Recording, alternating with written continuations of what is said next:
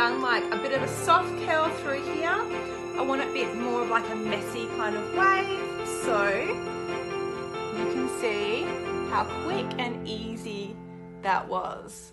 It yeah, tucks right behind my ear. Perfect length, hey? What do you think?